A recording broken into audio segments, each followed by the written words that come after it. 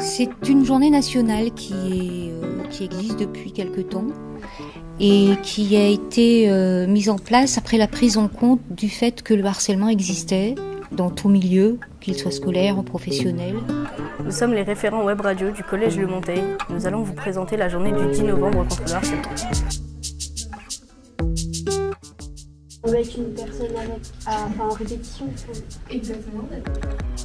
Alors il est important que les victimes, quand elles se font harceler, puissent en parler à un adulte, que ce soit un surveillant ou que ce soit une CPE ou un adulte référent du collège, de façon à pouvoir euh, déjà prendre le temps d'être écouté, d'analyser toute la situation, et puis après le travail des adultes sera euh, de, de, rechercher le, la personne qui harcèle et euh, de pouvoir euh, démonter tout ce système euh, de, harcèlement. Il y a le cyberharcèlement aussi, sur euh, les réseaux sociaux, par exemple faire des blagues méchantes, sur euh, des, diffuser des images ou des choses pas, très, gentilles et, méchantes sur les, les réseaux sociaux comme Facebook ou d'autres choses comme ça.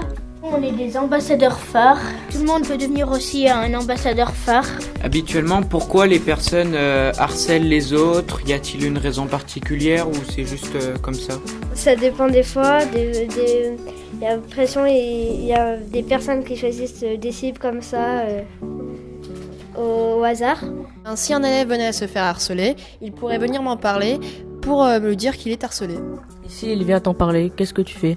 Eh bien, je vais en parler à un adulte référent au collège. Quel est votre rapport avec les ambassadeurs phares?